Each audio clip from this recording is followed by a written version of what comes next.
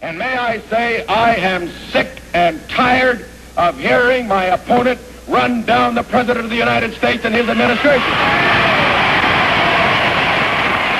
Oh, I know. I know. After he hits him below the belt, he says, oh, I didn't do it. I didn't mean Eisenhower. I meant Nixon. To show how desperate, to show how desperate and despicable this campaign has become, they're handing outside defense plant a poster which says, Jack Kennedy is after your job. I'm after Mr. Eisenhower's job. And that little boy manner he has, very innocent, he said, he said, you know, if I'm elected president, I'll consult, I'll consult with President Eisenhower about how to stop this slump. He'll have a chance to consult with Eisenhower, but he'll be a senator of the United States and not president of the United States. That's for sure. He tells us now that he's the man to stand up to Khrushchev, even though I can't persuade him to come into a studio and engage in the fifth debate and stand up to the American people. I do not believe that we can afford to use the White House as a training school to give a man experience at the expense of the American people. Now, if we can just send him back to California for four more years and study up, we're going to make a good public servant out of him. He shows an ignorance economically which disqualifies him from even being considered as President of the United States. The Vice President of the United States says that he will go to Eastern Europe if he wins this election. I will go to Washington, D.C. Congress has made possible direct TV debate by presidential candidates for the first time.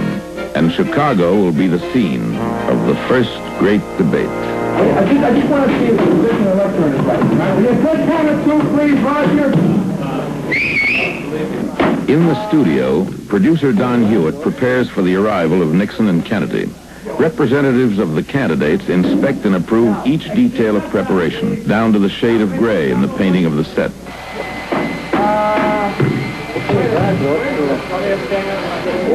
Vice President Nixon is the first to arrive. He has campaigned right through this morning and paused only this afternoon for solitary rest without staff or entourage in a hotel room.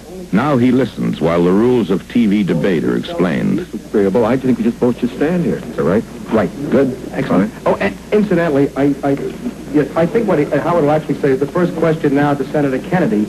Uh, you may not want to get up till he's finished. Then once you've got enough to comment on it, then you're up for the rest of the... Uh, mm-hmm. And Howard will hit the gavel if somebody uh, ignores What does the cut, uh, the cut means, uh, that's it? Get out, Grace. Five seconds.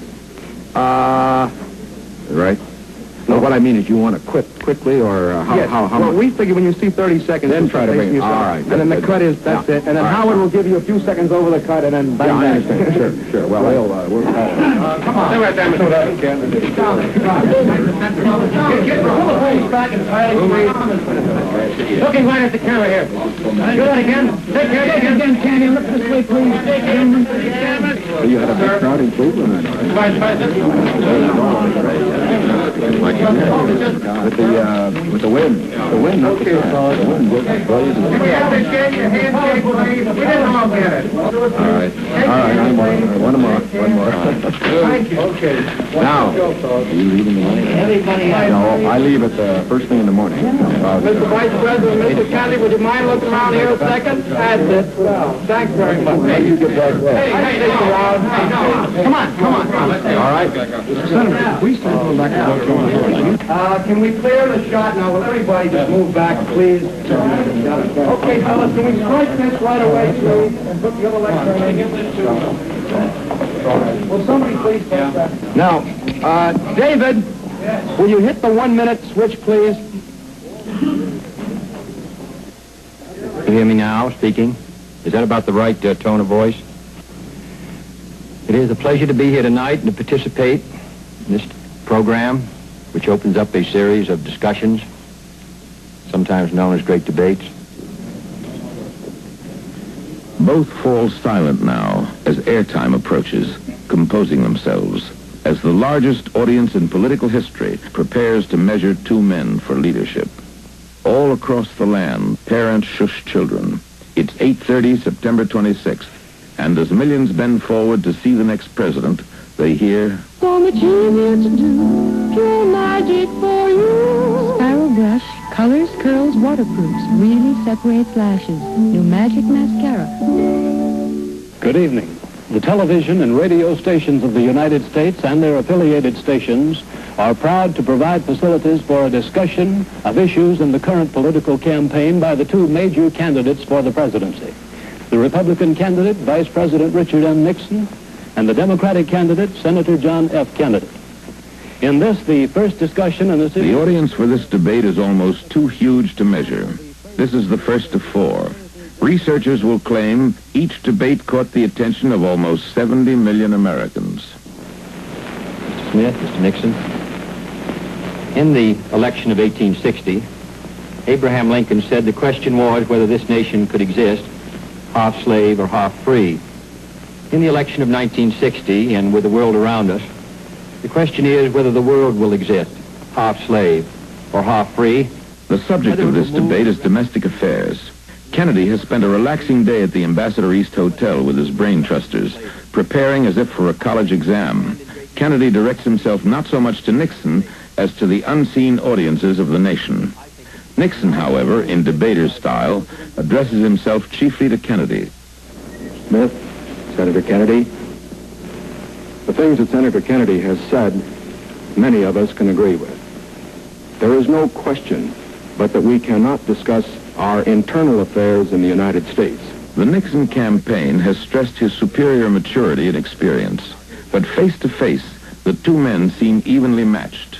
With this debate, the Nixon claim is shaken. Moreover, ill at ease, under strain, dressed in a suit of gray that blends into the background, Nixon in this first debate leaves a disappointing image in the minds of millions of Americans. For years, men will argue who won or lost the debate. But political analysts will agree that these TV debates were the most important single episode of the campaign.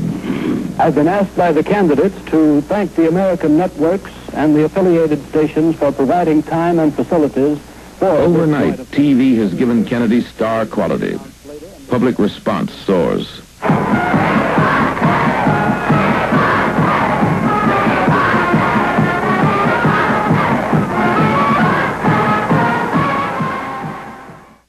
This is what he said.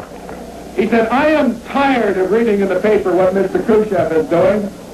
I am tired of reading in the paper what Mr. Castro is doing. He says, I want to be able to read in the paper what the President of the United States is doing. Well, just let me say this. If he had stopped talking and started reading, he'd find out what President Eisenhower.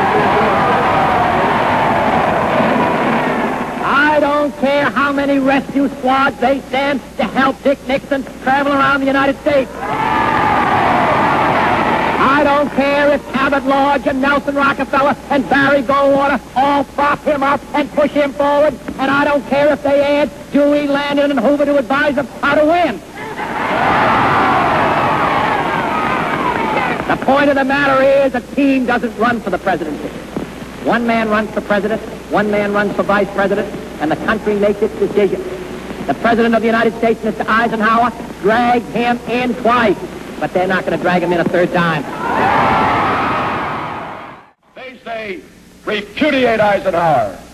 And may I say, I am sick and tired of hearing my opponent run down the President of the United States and his administration.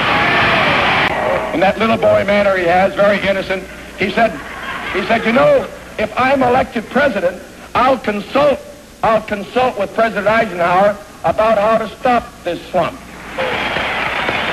He'll have a chance to consult with Eisenhower, but he'll be a senator of the United States and not president of the United States.